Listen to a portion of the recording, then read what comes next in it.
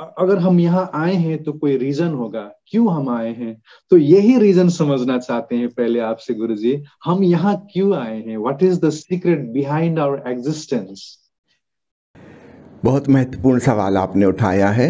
सबसे पहले मैं यह कहना चाहूँगा कि जीवन का जो रहस्य है, वो एक मिस्ट्री है, एक पहेली जैसा नहीं है पजल जैसा नहीं है।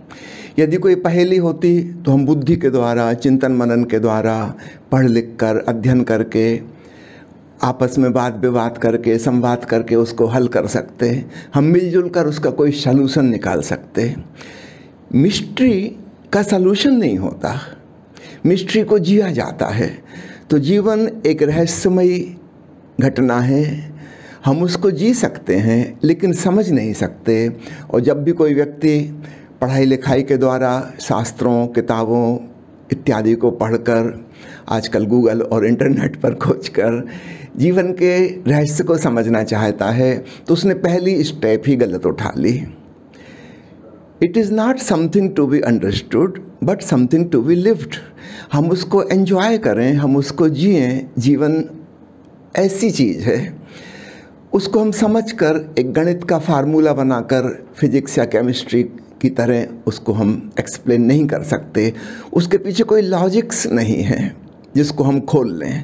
ओशो की एक किताब का प्यारा नाम है अंग्रेज़ी में, द ओपन सीक्रेट खुला हुआ रहस्य कुछ बंद नहीं है जिसे हमें खोलना है। बुद्धि काट छाँट करती है। बुद्धि का काम है विश्लेषण एनालिसिस तो अगर कोई चीज़ बंद होती, हम उसको तोड़ लेते, खोल लेते टुकड़े टुकड़े कर देते और समझ लेते। नहीं जीवन की अगर हमने एनालिसिस की तो जीवन विदा हो जाता है। जीवन बचता ही नहीं। वो तो सिंथेसिस में, संपूर्णता से जीने में लिविंग इन टोटलिटी उसमें पकड़ में आता है। तो हमारे शब्द, विचार इंटेलेक्चुअल नॉलेज काम नहीं आती, क्योंकि इंटेलेक्ट का काम है एनालिसिस और जीवन की एनालिसिस नहीं हो सकती।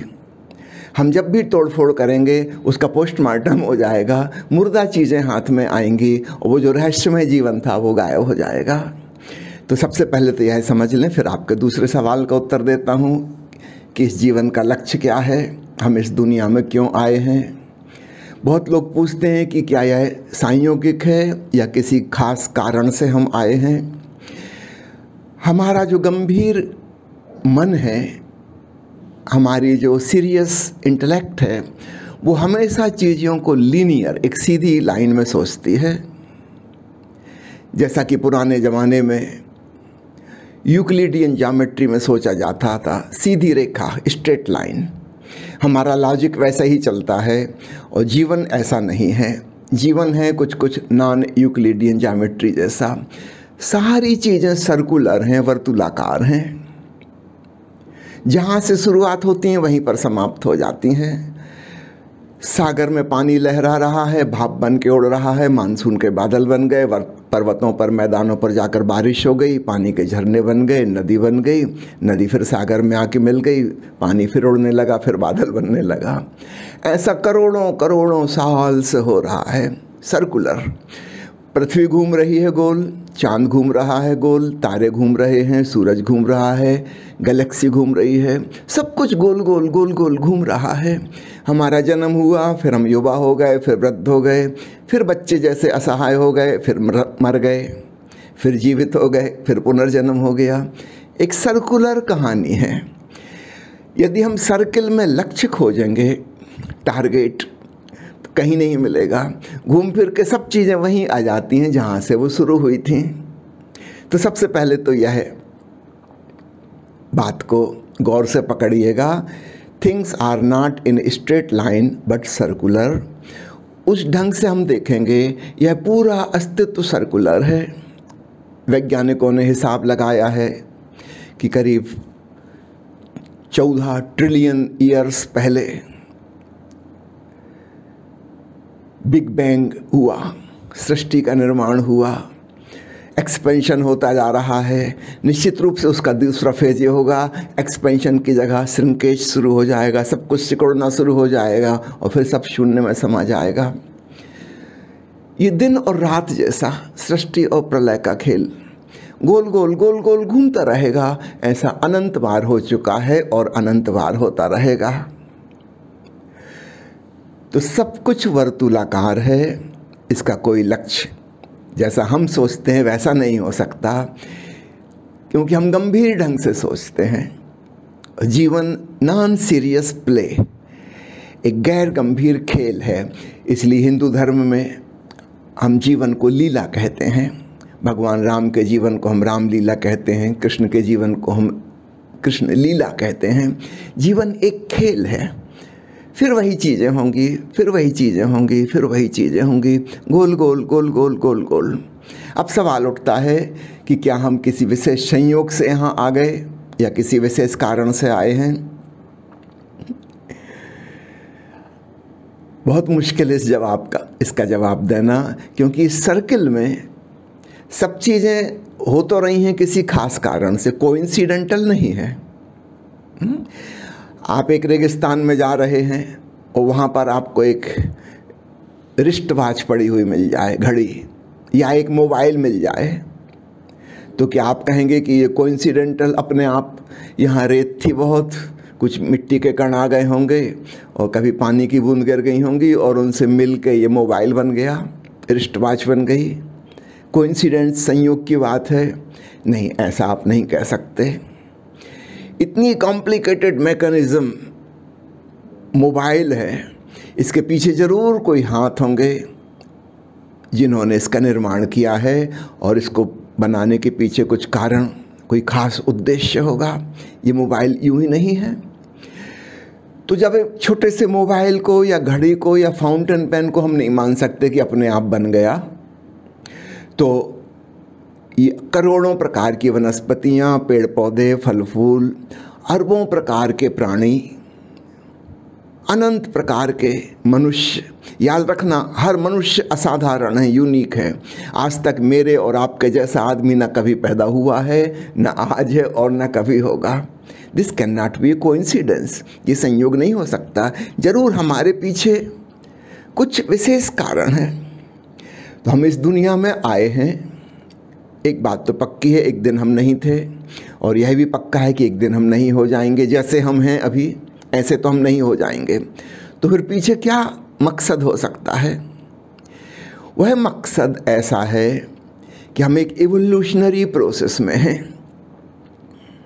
हमारी चेतना का विकास हो रहा है। जीवन के अनुभवों से हम पक रहे हैं। We are becoming more and more mature by living निश्चित रूप से यह मेचोरिटी धीरे धीरे धीरे अपने क्लाइमैक्स पर पहुँचती जा रही है। और क्लाइमैक्स पर हम वहीं पहुँच जाएँगे जहाँ से शुरुआत हुई थी। अब यहाँ पर थोड़ा नॉन सीरियस बात आ जाती है। हम अंत में वहीं पहुँच जाएँगे जहाँ से हमारा स्टार्टिंग पॉइंट था। तो पीछे एक निश्चित रूप से कार्य कारण है। यह संयोगिक नहीं है। एक एवोल्यूशनरी प्रोसेस चल रही है। चार्ल्स डार्विन ने तो शरीर का विकासवाद का सिद्धांत खोजा। महावीर ने, बुद्ध ने, ओशो ने, इन लोगों ने चेतना के विकास का सिद्धांत खोजा। लेकिन उसमें एक फ़र्क है। महावीर ने दो शब्दों का प्रयोग किया है, एक मोक्ष और एक निगोद हाँ हमारी आत्मा निगोद से आई है। शायद जैन शब्दावली में ही यह शब्द आता है, और किन्हीं धर्मों में यह शब्द नहीं आता। इसलिए समझना, जो मूल उद्गम है जहाँ से चेतना आई जगत में, उसका नाम है निगोद। और जहाँ वह जा रही है, उसका नाम है मोक्ष, निर्वाण, केवल जो भी हम नाम दें। तो हम क्रमशः विकसित होते जा रहे हैं, और अंततः हम मोक्ष की अवस्था में, परम मुक्ति की अवस्था में पहुँच जाएँगे। यहाँ तक तो हमें समझ में आता है लीनियर थिंकिंग अब महावीर एक बहुत विशेष बात कहते हैं, जो हमारी सूझबूझ से परे हो जाती है। वे कहते हैं, निगोद और मोक्ष एक ही अवस्था का नाम है। एक ही अवस्था का नाम है। ऐसा समझें कि साइंस की भाषा में ब्लैक होल में सब कुछ समा जा रहा है, गायब हो जा रहा है। लेकिन ब्लैक होल का ही एक दूसरा एस्पेक्ट होगा वाइट होल जहाँ से चीज़ें निकल रही हैं क्रिएशन हो रहा है। तो एक तरफ़ से डिस्ट्रक्शन हो जा रहा है, चीज़ें अपनी रेस्टिंग फ़ेज़ में चली जा रही हैं, अदृश्य और विदा हो जा रही हैं, और दूसरी तरफ़ से फिर प्रकट हो जा रही हैं। तो हिंदू धर्म में जिसको संभूत ब्रह्म और असंभूत ब्रह्म कहते हैं। प्रकट परमात्मा और अप्रकट परमात्मा, ऐसा समझें, हम सब उस अप्रकट परमात्मा से आए, फिर हमारा यह प्रकट रूप हो गया। इसके पीछे निश्चित रूप से एक उद्देश्य है, एक लक्ष्य है। हम धीरे धीरे धीरे विकसित होकर उस अप्रकट को, उस छुपे हुए को जान लें, फिर हम उसमें लीन हो जाएँगे ब्रह्म में। हम विदा हो जाएँगे। व्यक्ति की भांति, समष्टि की भांति हम हो जाएँगे। निश्चित रूप से बूंद सागर हो जाएगी, जैसा कि ओशो ने स्वयं अपना नामकरण किया। अब वो सरिता नहीं रहे, स्वयं समुंदर हो गए। इंडिविजुअलिटी ख़त्म, यूनिवर्सलिटी में समा गए। ऐसा समझो ब्लैक होल में चले गए। लेकिन इसका दूसरा पक्ष ये भी होगा, फिर सागर से बादल उड़ेंगे, फिर झरने बनेंगे, फिर नदियाँ बनेंगी। निश्चित रूप से इसमें उस नाम का व्यक्ति नहीं होगा।